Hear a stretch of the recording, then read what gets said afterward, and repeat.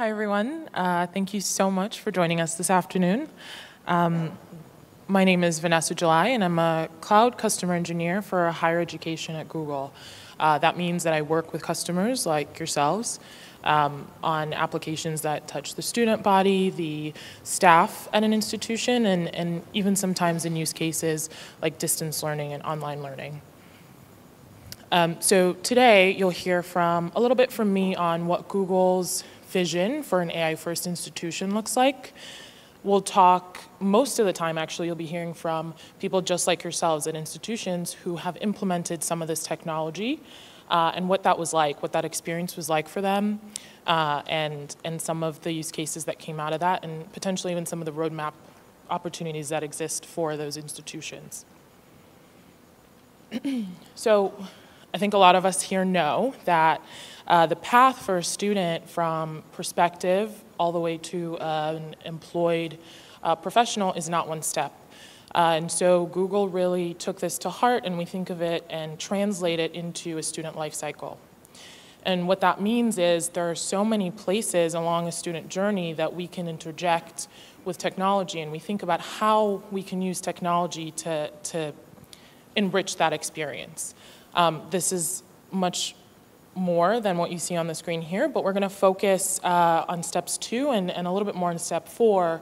When you have a student that is at your university, how do you help them and how do you deploy an agent and, and not just use ML as a buzzword, how do you actually interject that into the student lifecycle to help that student as they work through your university? and so what you'll see is Dialogflow is really the agent that enables this. Uh, very simply, Dialogflow is a conversation building tool.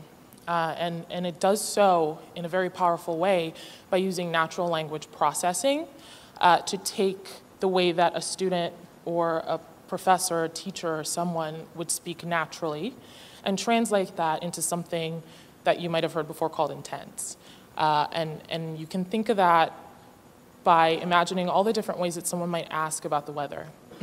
so, you know, you can say, how hot is it today? Um, will it rain today? What's the temperature going to be like this week? Uh, and traditionally, it may have been very uh, rigid and difficult for people to interact with an agent because it required a very specific input. And it's also very difficult for developers to create that agent by hard coding very rigid language and context into that agent. And so what Dialogflow does is remove that meaning that your user, your student, your staff member can interact the way that we talk very naturally, and all of the natural language processing that is built into Dialogflow translates that for you into something actionable in your bot. and so today, you're going to hear from three different institutions on how they've implemented a lot of this technology uh, and how they were able to build faster, to iterate, to, to bring in student input and focus group input to deploy something very quickly. You'll hear about how the integrations that Dialogflow presents to you allows you to meet your student and to meet your staff member where they are. So this means they can interact on their phones, they can interact in the LMS, in the LRS, they can interact in the student portal, how they're used to interacting. And you'll hear about how when you're able to meet your students and your staff where they are and how they want to interact, how that really helps you um, to maximize those investments, not just in technology, but also in the information that you're able to collect and then give back to your user base. And so with that, I'm going to bring Greg Reynolds up to the stage to tell you about how they've done that at Case Western.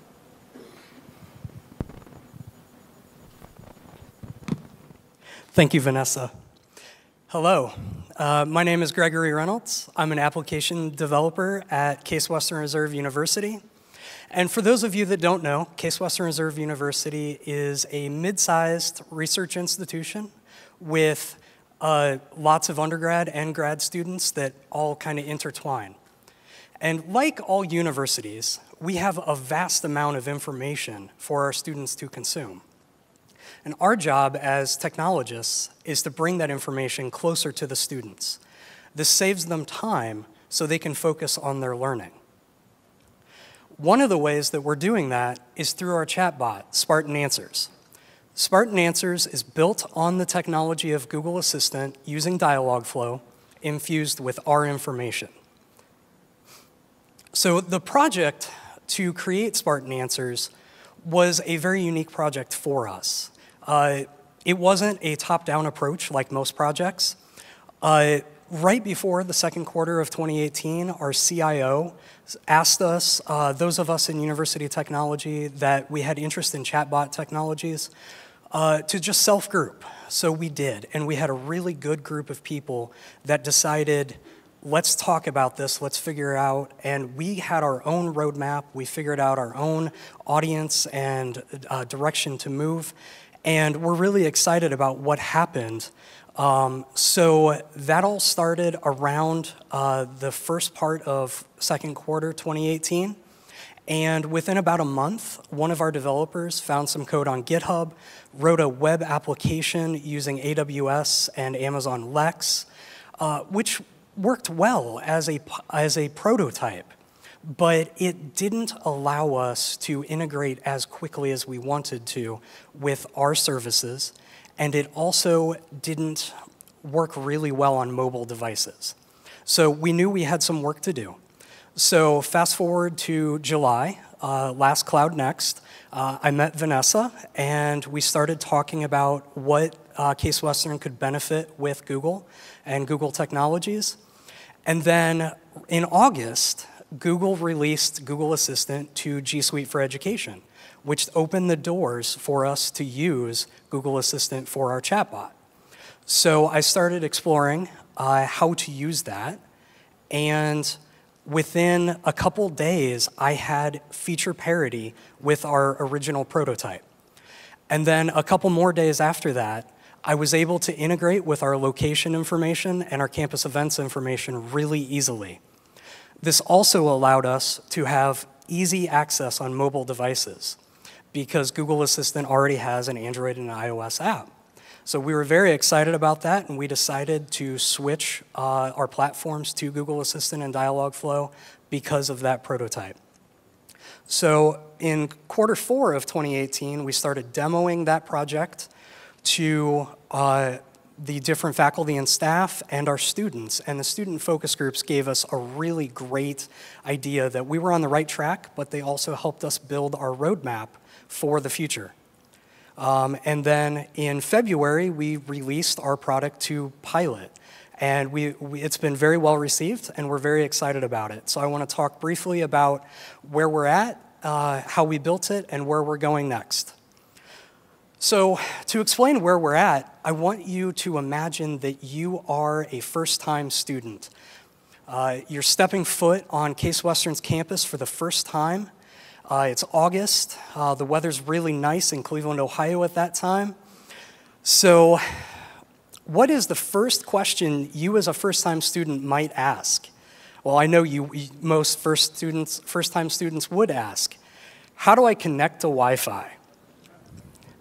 So you pull up Spartan Answers and you ask it, how do I connect to Wi-Fi?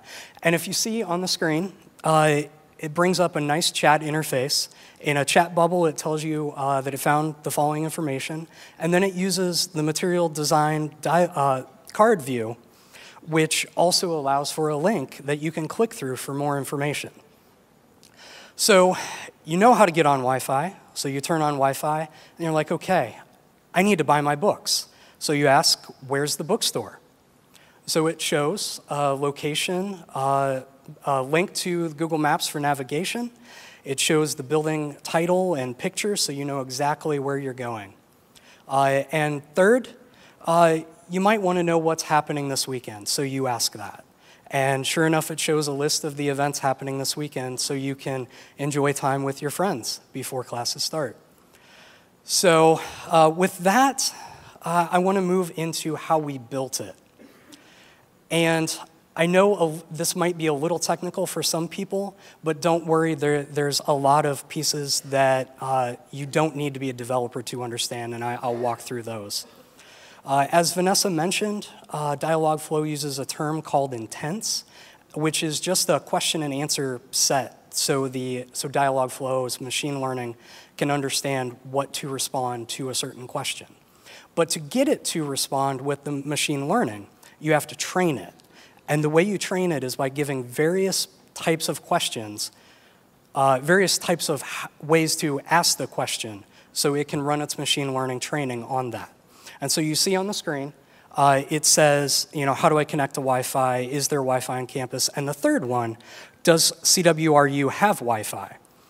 And I wanted to point out the highlight in yellow that uh, CWRU is one of the many ways that you can say Case Western Reserve University. And so it is tagged as a university intent, or a university entity, which allows for synonyms. So this is how we got around that, so we didn't have to train for each type of way you could ask, you know, how do you get to Case Western or whatever. So once you have it trained, you have to tell it how to respond. And if you remember back to the Wi-Fi question, we, we had the little chat bubble that said, I found the following information. So in the simple response on the left, that's, what's, that's where you input that information. And then in the simple response on the right, this is the audio response that Google Assistant gives. Um, and then in the basic card, this is where it shows the material design card layout with a link. And that's all it takes to do one question and answer intent. It's super easy and fast, which is why we really like Dialogflow. Now, I have one more example for you, and that's the location question where is the bookstore? So you'll see that it's the same type of training, and there's a lot of words highlighted in orange here. Now, instead of using the synonym approach with entities, we're using multiple locations as an entity so we can train one question, uh, one intent with all of our locations.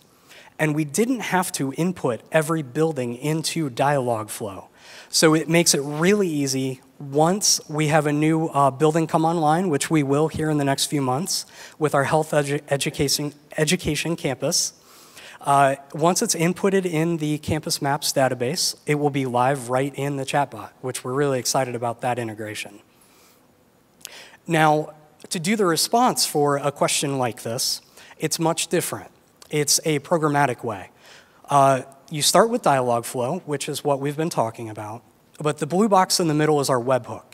And a webhook is simply a program that you write that sits in between Dialogflow and other services. And in the red box, the service API, uh, for the location information question, that's the Campus Maps database API, but we also use it for Google Calendar. Uh, it can be any type of service. Uh, so once uh, Dialogflow gets the question, it sends that question to the webhook with the intent name and with the parameters. So in the case of where's the bookstore, it sends the map intent with the bookstore as a location. So it knows to, the webhook knows to talk to the Google Maps database, um, and the Google Maps database looks up information about the bookstore and passes it on back to the webhook, which then packages it up in a way that Dialogflow can understand. So that is how easy it is to do both of the types of questions. One that is just simply you give it the answer, and the other that it looks up in different applications. Um, so with that, uh, where are we going next? We know we have a really good start, but we know there's so much more room to grow. Uh, we're definitely going to be talking to our students for more ideas, but the few that we're starting with here in the next month, uh, is our question and answer input tool. So even though it's easy to input questions into Dialogflow, it's not as quick if you have hundreds of questions to input at the same time. So we're writing, using Dialogflow APIs, we're writing a tool that will allow our departments to input hundreds of questions, and then our university marketing and communications will verify and approve each question and each answer. So it can all be streamlined, and we can have thousands of questions in our uh, chatbot up and running very quickly here in the next few months. So the next two uh, additions are all using the webhook. Uh, course information, just simply any type of uh, quick information about a course. So where is it, what day and time, uh, who's teaching, Uh, this is something our students asked for, so we're excited to put it in there. And finally, the shuttle routes. We don't want our students sitting at a shuttle stop waiting and waiting for a shuttle. So we're going to be putting in uh, where is my shuttle, when will the shuttle be at my stop, uh, which will save them a lot of time. Um, so with all of these examples and with all these additions, we are totally bringing information closer to the students. That way, they can focus on things that are more important than just finding information. They can focus on their learning. With that, thank you, and I'd like to turn it over to Daniel McCarthy. He's going to tell you what they're doing at Strayer University.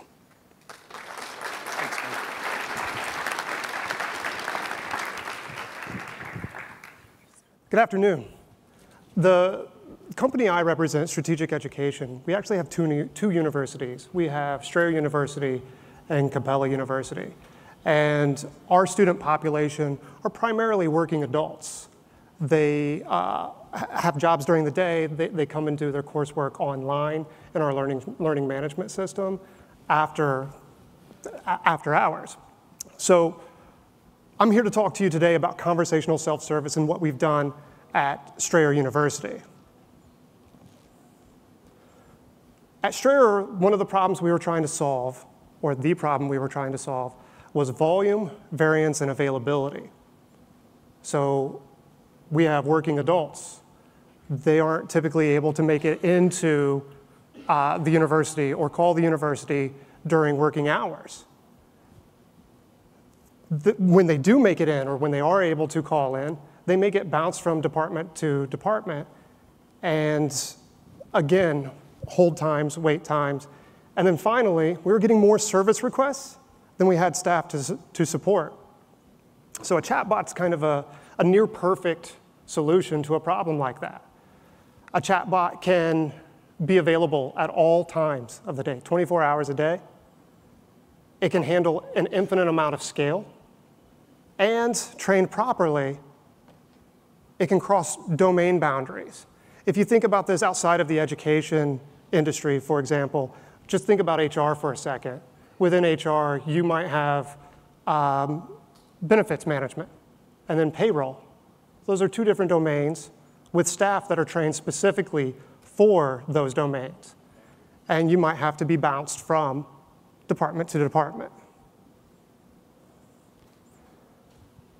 Our timeline for the initial release of our chatbot Irving, which was named after the founder of Strayer University, Irving Strayer, was very compressed. You'll see here roughly six months from idea to pilot to production and then scaling. What enabled this was a little bit of a perfect storm. So the, those developing this solution, myself included, had the domain experience for the domain that we were going to hit first, the technical experience, and then combining that with Dialogflow and GCP allowed us to move very quickly from an idea to a prototype to production. Now, we'll give you a little bit of a, a, demo. Now, I apologize. I'm going to start and stop this a few times so that I can talk through it just a little bit. So I've already stopped it. Isn't that disappointing? All right, so Irving is available in our student portal where almost all of our learners come. Oh, thank you. All right, so uh, on, still going. All right we're going to go back here and do this again. All right. I'll talk a little bit before we play it. Irving is available in the student portal online, the web application. We're piloting Google Assistant right now, and we're also piloting SMS. So meeting the students when they are and where they are. When they are, 24 hours a day, where they are, whatever platform that uh, they want to interact with. Some of those are a little bit easier than others. And now with that, we will play the demo. As students interact with Irving, it recognizes that if they've used Irving before. So you'll see here, Holly, who is a learner that, that is interested in her academic progress and completion or progress towards graduation, has used Irving before. She wants to know what classes she has remaining. Irving goes into our back office SIS system and pulls up her program, how she's progressed through that program, and what she has outstanding.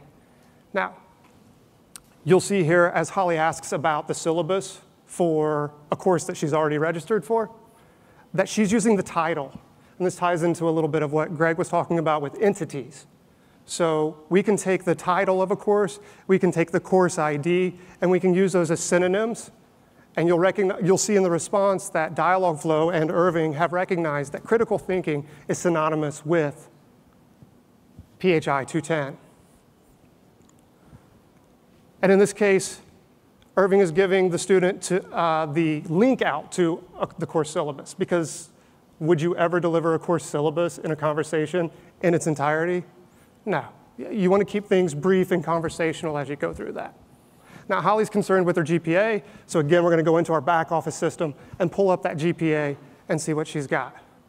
This is a little verbose and may need a little bit of work regarding the response here, but Holly's doing all right with a 3.6 GPA and she's in satisfactory standing both academically and financially. Now, Holly's asking about her grades. You'll notice that she didn't give a term. Schools are term-based, right? It doesn't matter semesters, trimesters, quarters, what have you, they're term-based. Irving has contextual awareness. We have set it up such that Irving assumes the most relevant term based on the time that the question is asked. But we're going to go through it again here. And again, we have entities. Holly asks about grades for fall. But again, that's a little bit nebulous. Is it fall 18 or fall 19? Which one makes most sense? Again, contextual awareness allows us to know that we're talking about fall 18. And great job, Holly, for getting A's in, in both of your courses. Now, when am I going to graduate? It's a hard projection, right? It's really based on student input. How, what are you going to put into it as a student? So Irving goes through and looks, calculates the average courses completed per term, and then asks Holly how many she's going to continue completing. And then we're, we're a quarter-based school, so how many quarters throughout the year are you planning to attend? And from that, Irving will then calculate a, an anticipated graduation date.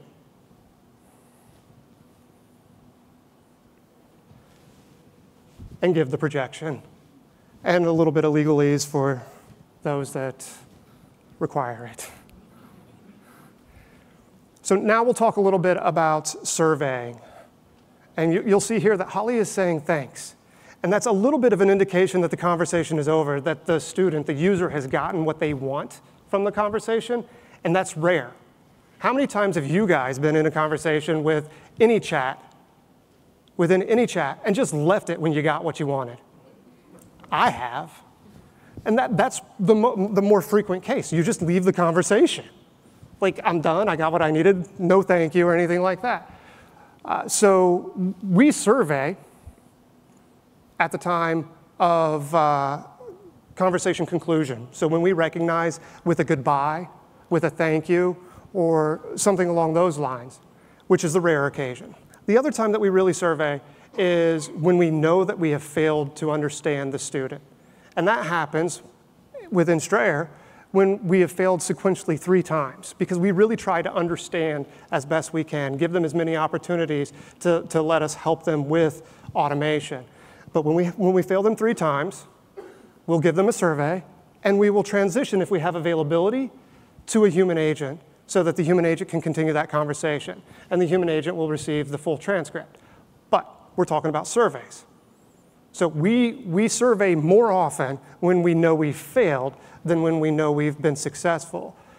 And as we get into that, let's, we'll talk a little bit about those numbers and how that plays into the survey results. So we've had over 400,000 conversations with Irving. Over 80% of all chat requests are handled within Irving without transitioning to a live agent. This is where the surveys come in.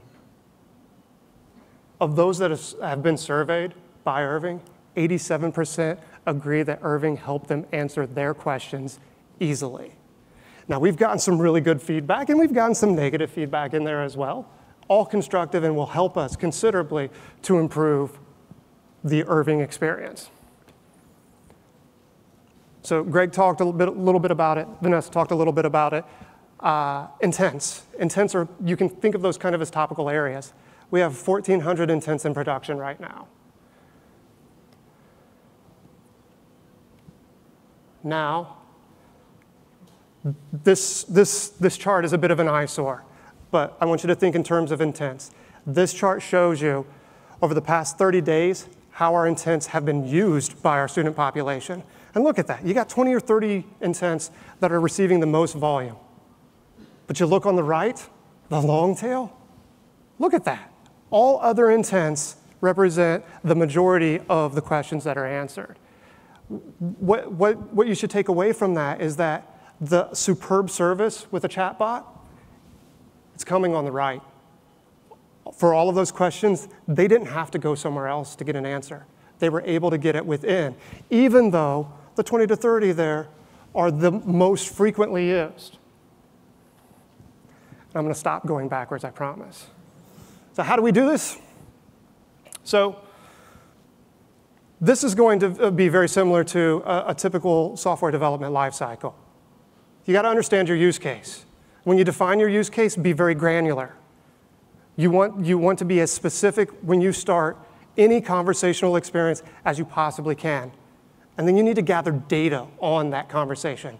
How do your students, how do your users ask about this topic? What parameters are they providing to it? What context are they giving? And then you need to script your conversations. And when you script your conversations, you start with the happy path.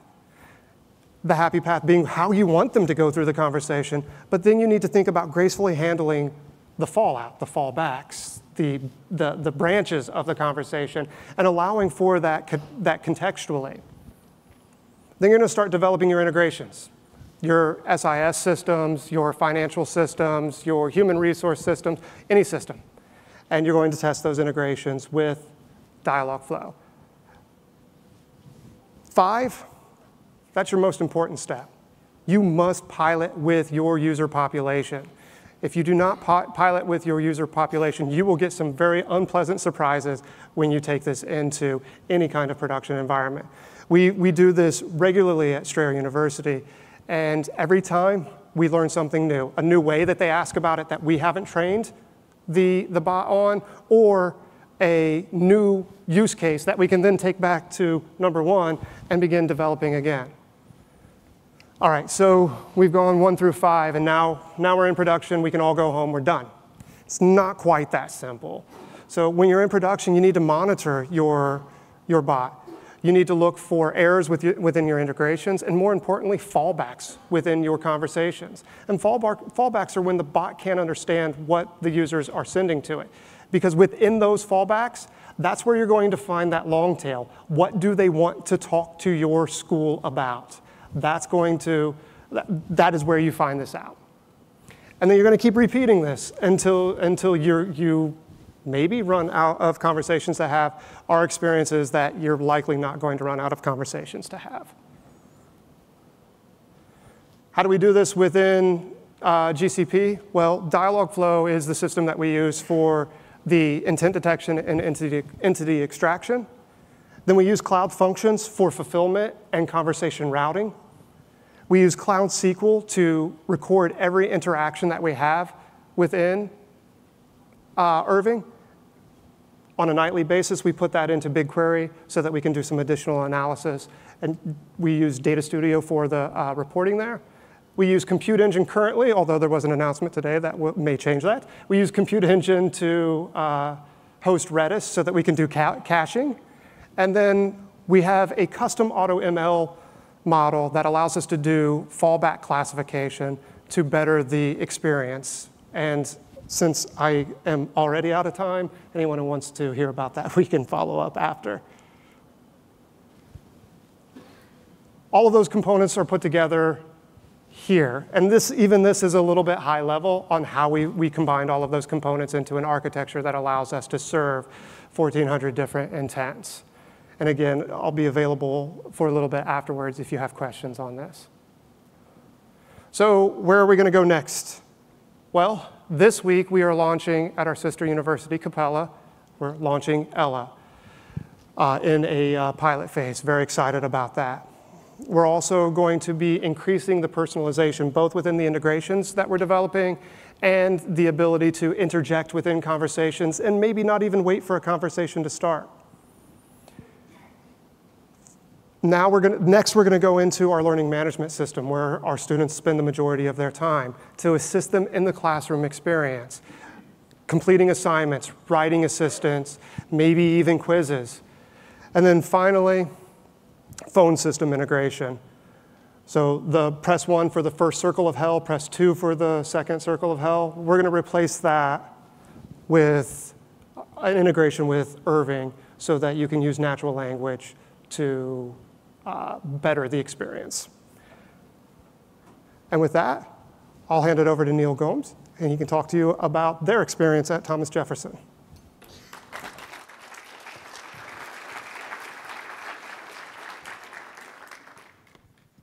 I'm going to be talking to you about the value of chatbots in the medical space, both for medical and uh, education, as well as, uh, you know, actually maybe at some point in the future, seeing a chatbot as your doctor. Right? sure, everybody will like that. No, no, I see some, I see some faces saying no. okay, just you wait. You know. Maybe at some Google Next, you know, we'll be laughing at this and saying, hey, you know, I said that you'd see a chatbot as a doc. Okay, all right. Well, so what I wanted to impress upon you today is, um, is really the power of conversation. So uh, I'm going to ask you a quick question, okay, and the answer is not iOS, it's not Android, it's not Windows, it's not Chrome. what is the best operating system that we currently understand really well? What's that? The brain, uh, not really. We don't really. I, I, can't tell what's happening in your brain right now. but what, what else? Yeah. S language, conversation. You know, the cue is right there. Okay.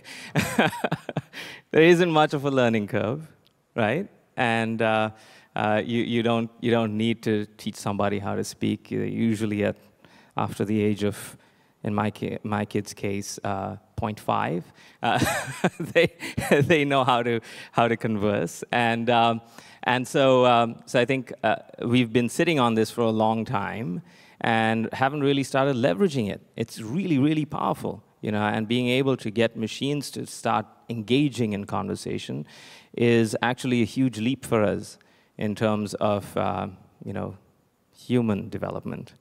Um, so, um, so I think that's really important, and we need to understand that. Uh, and I work, uh, I founded this group called the DICE Group, or the Digital Innovation and Consumer Experience Group at Thomas Jefferson University and Jefferson Health, where we bring digital to life. That's our motto. right? And so we've, we've, been, we've been doing a lot of work in the chatbot space that I'll talk to you about in a bit. But to give you some context, uh, this is who we are. Uh, Thomas Jefferson University is the third or fourth medical school in the nation, almost a 200-year-old institution. Uh, if you've heard of terms like gross anatomy, Samuel Gross was a Jefferson physician uh, who started gross anatomy. Uh, the heart-lung machine was invented at Jefferson. And we have about 15 hospitals now. Uh, we've been in rapid growth kind of phase mode and, um, and, and, and earn a revenue of about five and a half billion at this point. But uh, the most important figures to us are really those patients. You know, we see about 3.2 million patients a uh, year in our outpatient clinics, uh, about 150,000 in our hospitals, and uh, about 550,000 in our ERs. Okay, so, and we have about 8,000 students. So a lot of impact through some of the solutions that we create as a group. Um, our team is about 220 people. Uh, we've grown from about two when we started four, year, four and a half years ago. Um, uh, these are people that are software developers. Uh, Rob, who's sitting in the front here, runs our software development team. Um, and uh, we have about 70 or so software developers. We have designers, human-centered designers, about 40 of them, uh, that take uh, solutions that come to us and then find what the real problem is, and only then do we develop a solution, okay? Uh, and we develop several different types of solutions like this, about 130 a year, and return about 10x, which is something I learned about at Google uh, last year, uh, in terms of returns on most of our projects, because we do things uh, uh, very frugally. Uh, very frugal innovation. Uh, and, and we return a lot of value to the organization. Just on our digital solutions, we save the organization over $40 million or so per year and have done a bunch of other things. And sometimes you'd be surprised at what generates value. Uh, you know, it's, it's amazing. Uh, our donation app generated about $1.46 million just last month. So you know, we never thought that would happen. Um, what we do with digital is we improve access, uh, make it convenient to get to us or for us to get to somebody else uh, where they are. That's always better. And then provide closed loop digital experiences, which is very rare in the healthcare space. So, uh, so we try to do that. And chatbots and, and such types of tools, voice chatbots also enable you to do that. And I'll give you a quick example. So voice bots, right? Powered by Google Dialogflow. We'll be talking about this on Thursday. Rob's going to do the presentation. Um, we, uh, we felt that there was tremendous value to our patients if we were able to answer any of their questions at any time while they're in the hospital room, even though there was no nurse available or no physician available. So we made a hospital room chatbot, right? And, uh, and it's voice. Uh, we, we got a speaker system that really worked. We experimented with a lot of different types of speakers. Um, you know, people stole a lot of our speakers. Uh, speaker cables disappeared. And then we came down to this uh, particular form factor with a company that we work with. And um, uh, it, it tells you a lot of things. You know, it tells you when your meal might be coming, who your doctor is, uh, whether they are board certified or not. it, will tell you, uh, uh, you know, about your disease or condition. Um, it'll, it'll give you your discharge instructions if you're leaving and narrate them out to you from the EMR. Uh, it will control your TV. Uh, we have uh, mostly Samsung smart TVs, and so it controls, we've found a channel to do that. Controls your TV, changes the volume, all of that. Lighting, uh, we can also have it control HVAC through our building automation systems, all just through voice. Um, so that's, that's our voice bots. Uh, we found that you know, people that uh, agree to do clinical research they hate the surveys. right? I mean, they're long things. They lie to you at the beginning and say this will be over in five minutes, but it doesn't get over in five minutes. But they'd rather engage in conversation, sometimes even with a chatbot. So we made some research chatbots for our researchers, and we, we have the service available to them to use anytime they want. Uh, we are now experimenting with the differential diagnosis chatbot. You know, differential diagnosis is, uh, you know, whenever your doc, you go to the ER and the doc says, or the primary care, and the doc says, I'll be right back, they're going to check their differential diagnosis tool. Sometimes that's called Google, uh, but there are actual tools uh, that, that they check uh, that give them um, uh, you know, they, they put in your condition, uh, your presenting conditions, um, you know, what, what, what it seems like you might, uh, uh not conditions really, but symptoms and then it gives them potential conditions with, um, uh, you know, with probabilities next to that. And it's very, very important because sometimes you might miss something, like Lyme disease, for example, you know, which presents in a very kind of uh, simple way, you know, in an ER many times. And you might just forget to ask that other question, like, were you in the woods recently? You know, uh, did you get a tick bite? You know, those types of things. So it prompts docs to ask these types of questions. And it's an extremely useful tool for learning for residents and students because sometimes they just don't realize they've got to ask that question. So they go and do this, you know. What if we could present that as a chatbot? Almost you know in simple quick and easy ways right? Especially because chatbots have these the capability to present canned responses that they just tap on versus having to type something in right? So so that's what we are we're experimenting with, with a company called isabel that that creates a great differential diagnosis tool that's named after the person's the the ceo's daughter who passed away because you know a good differential diagnosis tool was not used. Um, so we also created a, uh, along with, a, with one of our students, uh, once created a, um, uh, a compendium of all medical school notes. okay, so came up with this brilliant idea, got permission from you know, the, the faculty uh, and, their, and their teachers, and, and they said, it's fine to do it. So they made like a Wikipedia of all medical school notes. And so now we're building chatbots on top of that uh, because we have a, a, huge data source to mine. Um, we also are, this is very inspiring to see both examples of student experience chatbots. So this is uh, a space we, we really, really want to get into. Um, we've, we've done some of these things for patients, but uh, not yet in the student space. So that's something we want to build. We've also just deployed recently appointment chatbots. Uh, the Rothman Institute, which is part of Jefferson, one of the best orthopedic uh, hospitals in, in the nation, um, now only takes online appointments through a chatbot. Okay, 24 7. They do have a phone number you can call, but any online appointments, there's no form. You just do it via chatbot. Okay, so, uh, and, and they're seeing great engagement and very fast, uh, you know, uh, information collection. And finally, um, a topic that, uh, you know, in the future we're probably going to have to deal with, and we are doing this right now, is a lot of people, especially institutions like us, um, are investing in um, robotic process automation, right, RPA, uh, in the financial side, um, in um, sometimes even in clinical, deep clinical areas uh, that have things that happen on the back end. And uh, we like to call these Autobots because this is uh, you know, pointed at um, automation uh, and automation platforms. And, um, and, and, we think there's great scope here because a lot of people that are in the operational spaces don't understand how these things work. And the bots could provide that insight. You know, the bots could also initiate the next action. You know, if you build the right type of platform, you know, you can, you can do some of these things transitionary elements, you know, really, really effectively using bots, we think. Because when we go into clinical areas and we try to, with our design teams, and we try to make them more efficient, we find that most latency and most issues with service happen when something transitions from one person to another. So now we're starting to automate some of those transitions, right? But some of them are still human. So if you want somebody to respond, you know, you have a bot in between that initiates that next step you know, either via a text message or, you know, via a platform that you might have across the system. So, you know, make things happen a lot faster, which in medicine is very important. Time is life many times.